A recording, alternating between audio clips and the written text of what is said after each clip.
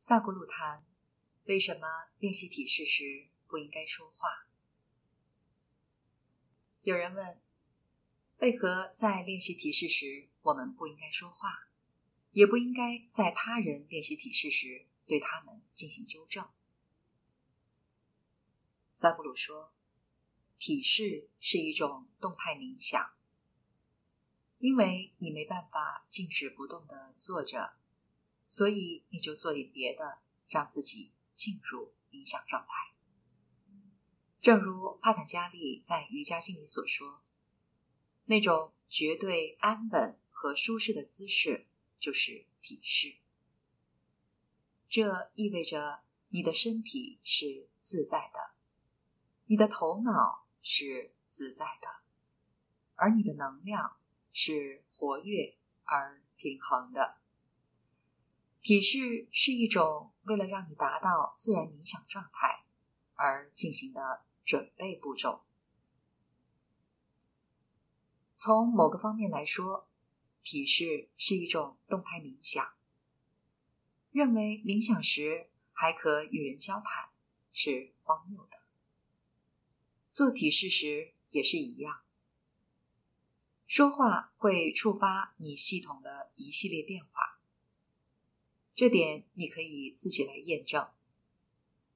首先，安静的坐着，检查你脉搏频率；接着，激烈的说话，再度检查你的脉搏频率。你会发现脉搏频率会非常不同。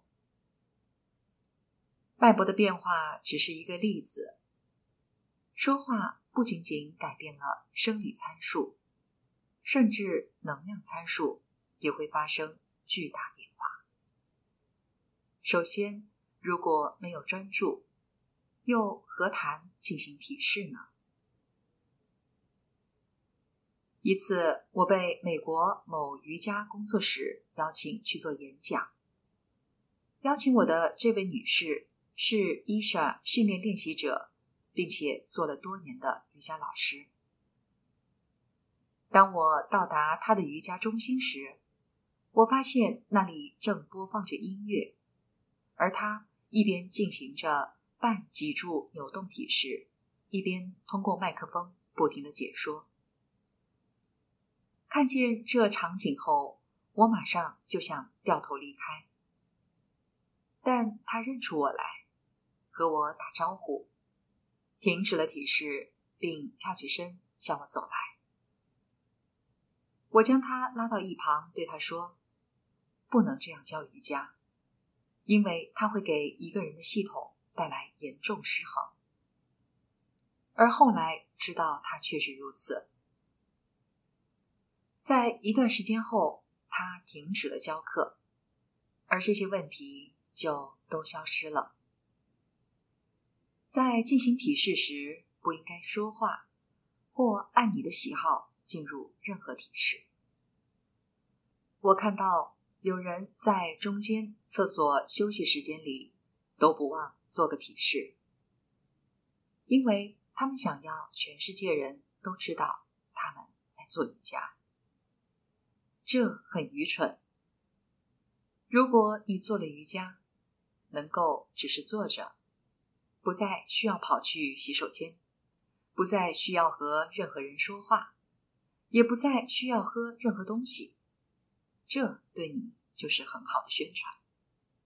你并不需要摆出某种姿势来告诉别人你在练习瑜伽。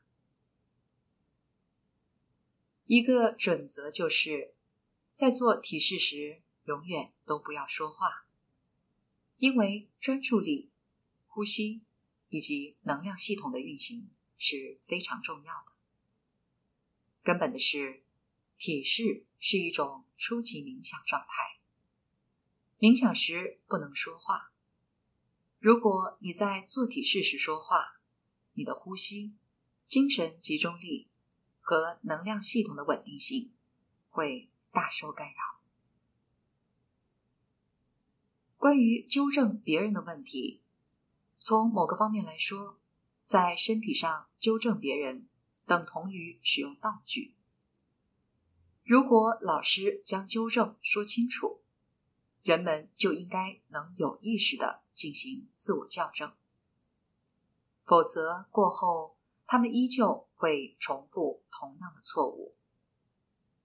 另一方面，如果他们已经处于某一状态，而你试图通过碰触他们来从身体上进行姿势校正，你会造成伤害。举个例子，仅仅是移动我的手指，也会牵涉到很多东西。我的肌肉、韧带、骨骼系统、头脑和能量，必须要以某种方式运作。假设你握住我的手指，移动它，那是完全不同的一回事。所以，老师应该通过言语来告诉你，直至你了解应该如何做为止。但你应该努力从内在进行自我校正。